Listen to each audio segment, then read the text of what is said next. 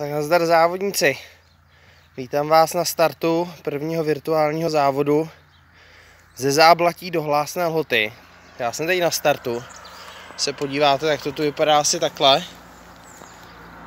Cesta do kopce terénní začíná u téhle cedule, na které je popis židovského hřbitova, který tady kdysi byl nad záblatím.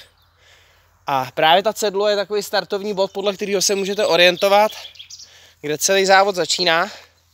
Takže tady u té cedule v záblatí, podle mapy to určitě najdete.